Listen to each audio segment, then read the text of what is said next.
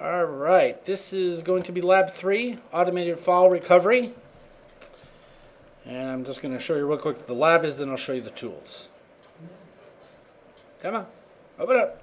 I hate this tool. It's too slow. Okay. Basically the same thing. You enter a crime scene, someone's deleted all the files. But now, rather than just a hex editor, we're going to be using FTK, Encase, Foremost, and Scalpel.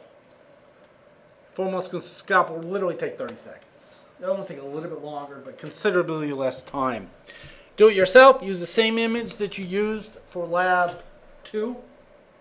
So you don't have to download a new one. There's not one called Lab 3. It's Lab 2's image again. Okay? What I want from you guys is the report generated from the tool. Easy enough. Each tool generated report. I'll show it to you. And for Encase, save it as an RTF file. Everybody know what RTF is? Rich text format. It's kind of like Word, close. But that's really the only option. I mean, you don't have a choice in it. Okay. For uh, FTK 8.1, when I show you that, it's imperative you zip it correctly. So if you send me the index.htm file, you're going to get a zero. Because there's nothing there. I'll show you that in a minute. And let me keep my color scheme and don't show. Yeah, I say that every time. Don't show me again. Yeah. I see it every time. Okay. For the newer versions of FTK, save it as a PDF. For Foremost, it's going to give you an audit.txt file. That's fine. Add your name to it. You can rename it to Foremost audit.txt if you like. The same with Scalpel. Name it scalpel.audit.txt or something. Okay. Easy enough. Okay. And I also want a single document telling me which tool you like better. There's no correct answer there. Just tell me which tool you like better. I'd like just your input on it. Okay? Yeah, it's worth part of your grade. Okay. So let's go into Foremost. Okay. Uh, the videos from last year are up there already. Now, I gave you under the software needed folder up on, did anyone look? You see there's a whole bunch of new software up there? Mm -hmm. Under the software needed, I put all kinds of stuff. And the larger files, I actually linked to my Dropbox account. It should allow you to download them without having an account. It should. So either download them from uh, Canvas or download them from my Dropbox account. But I put a whole bunch of stuff up there. Okay. First one we're going to talk about is Foremost. Foremost was actually made by the Air Force OSI. And here's the thing someone's going to do, and they're going to contact me at the end of the week and say, I've been working on this entire week and it hasn't worked. They're going to go over here, they're going to click on Foremost, and they're going to wait for an entire week. And you're going to say, I've been letting this thing run for an entire week and I couldn't do the project. It's because you can't run it this way. Must run it from the command prompt. Must run it from DOS. Okay, and if you don't know how to get to DOS, the easiest way, if you hit the Windows key and do R, Windows key R stands for run, type CMD. Stands for command, command prompt. Now we're at a DOS prompt. Or you can also click on start, programs, accessories, something or other to find it. It's in there somewhere, okay? But Windows R is the easiest way. Now, I saved my file already in a folder called C Foremost. Everybody see that? So now I'm actually going to change the font here so you can see what I'm doing. Oh, you can do that? Sure. Oh, man. Let's go to Lucida Sans. We'll go with 20. Shoot. That better? Mm -hmm. Or is it, want bigger yet? Is that big enough? Okay, we're going to go down. Okay, so I'm going to change the directory up to the root directory, cd foremost. This is not a DOS class, but the first command said change directory to the root. Then change into foremost. Okay, now I'm in the right directory to run the tool. Now, if I just type foremost by itself, it's going to say, eh. okay? Now, I don't know if it created a folder. Yes, it did. Now, anytime you run Foremost, it's going to create this output folder, so I'm going to have to delete that. Because watch, if I do it again, it's going to do the same thing and create the output folder. Oh, hush. Come on. Fresh. Not that one.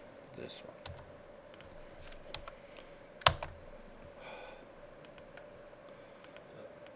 Oh well. Oh, it's because it's still open. Well, stop. Control C. Stop, stupid thing.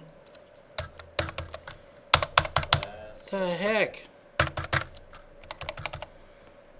Well, okay, it doesn't want to let me out. So we're going to go back in again. There we go. Windows Command. You can also change straight into it. Now, I think you can go slash question mark maybe. Maybe not. Seriously? What is up with this stupid thing? It's never locked up like this. Alright, we'll get it. It's a it's a dash H. No, dash small h. There it is. I knew one of those options would work. Dash small h is for help. Okay. Now, the easiest way, I mean, you can read all these instructions if you want. Easiest way to run it, just type the name and the image name. What's the image name? Lab2 image.001. Everybody see that? It has to be in the folder. Yes, you have to be, it has to be in the folder. I've already copied it in there. Is there a dot? Yes, there is. Yep, there's a little dot right there.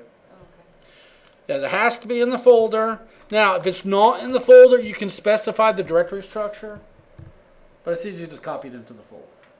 Okay, so I copied my image into my foremost folder. Now, remember how long it took you to do this project? You seriously wear that to work every day? every day. Oh, jeez. like, Okay, here we go. Ready, set, go, done.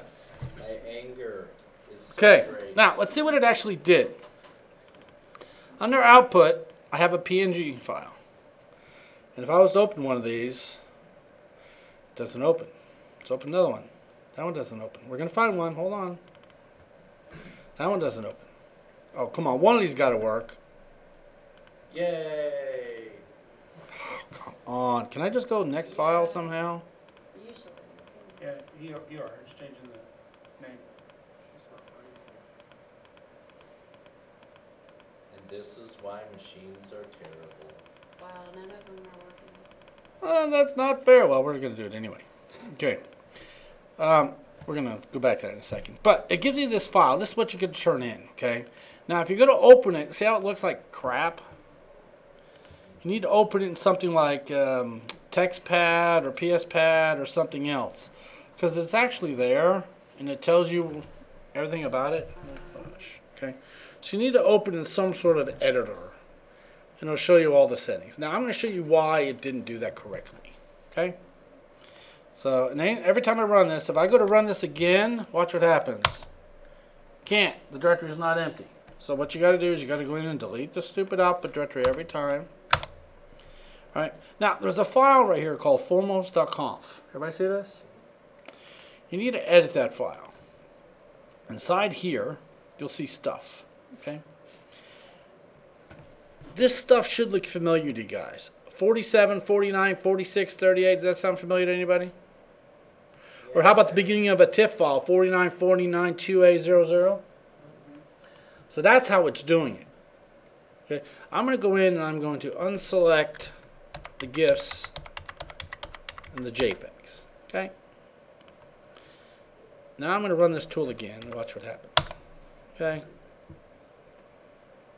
Okay, it's done. Took a little bit longer, not a lot, but a little bit longer. Now let's go into the GIFs. Hmm. There you go. They look familiar? There's a terrain something or other. Hopefully these are familiar. What? Oh, did I use the wrong, did I copy the wrong image in here? Oh, okay, I copied the sync image in here. I copied the sync image. I could have sworn I used the other one. What? Is that sync in sign language, I guess? Actually, I'm gonna go in here real quick and, which, We totally don't need any new image. So where did I put that stupid image at? That's why I didn't do. I did not do PNGs last semester. That's why I was bringing up invalid PDF, PNGs. But okay. But and here's JPEGs. And they none of them work. Come on. I know we have JPEGs in there. There's some JPEGs.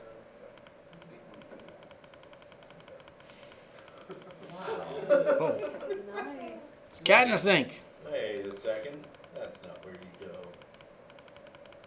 Come on, some of them are corrupt. Okay, so it does it pretty easily. So that's how we got those. And if you want to get other types, just go in here. Like if you want TIFFs, unhighlight, un, whatever. These are comment characters at the beginning, by the way. Uncomment out like TIFFs. And now we run it again. Now we're going to get the TIFFs. And it's done. Now if I go to output, TIFFs, there's the TIFFs. Okay. So a little bit quicker than you can do it by hand, I'm assuming. Yes. So like that. So, kind of a very nice tool. Um, now looking at this file, pretty much everything's in here. MPEG videos, AVIs, movie files, Word documents, blah, blah, blah, so on and so forth. Okay? Um, only recover the file types that are on your image. Okay? There's no zip files. There's no RM files. Every semester, people turn in a report with RM files and zip files and all this other crap that's not on there. The reason is, a lot of them have similar beginnings. So it'll tell you it's got a thousand, like RM for real media files, it's gonna tell you you got a thousand of them on there. I think. We just want the same file extensions. and- Exactly. Where's real media? Maybe it's there's RA. Is it RA they always give me? Maybe it's RM. One of these types they always give me. Remember, there's no RM, there's no zip files. Maybe it's RA files. I'm just selecting a couple different types here. Okay, is that all of? All right, I'm gonna save this. I'm gonna run it again. Oh, I gotta delete that file first. Every time you run it, you gotta delete it or else you have to specify a new output path. Okay? It's gonna take a little bit longer because I gave it more file types this time. Why is it telling us the file exists? Because the first time, it, for each file type, it's running again. This. We're almost done with this. Then, then Roy can give me his key. Okay. So obviously it says we've got zip files, we have RPM files, and there's lots of them. There's none on there. I left you presents on your desk. I'll leave them out. Oh, okay. Thank you. I'll you. All right, bye. Okay. And we know there's no zip files, yet there's tons of zip files. If you try to open these, you get invalid. So what's happening is that file signature for RPM and Git, like zip, where's zip at? Is it down here somewhere? That, the header, PK0304, there's lots of them on there. So what it's saying is, hey, this is a possible one. That's one bad thing about this tool. It gives you lots of stuff it's not sure of. It's kind of one of those things, you know, when I ran my ISP, I did spam filtering, but for a couple customers, I couldn't do any spam filtering because they got email from China and from Amsterdam all the time, and that's where a lot of spam comes from. So they said we'd rather have to delete 500 pieces of spam than lose one good email. That's what the tool does. It gets every possible one that's even remotely good, and it's up to you to figure out which ones are right. Okay? Is everybody okay on how to do that? Pretty simple to do with Foremost. And you're going to take this audit file right here. You can rename it to Foremost Audit, whatever you want. That's fine. Put your name in it so I know whose it is. And I'm going to look at this. I'm going to say, oh, you recovered zip files. No, you didn't. Ain't none on there. So here's exactly what it recovered. Five GIFs, 293 JPEGs, and so on and so forth. Okay. Simple tool. You like it? Okay. Now let me stop that recording. Stop.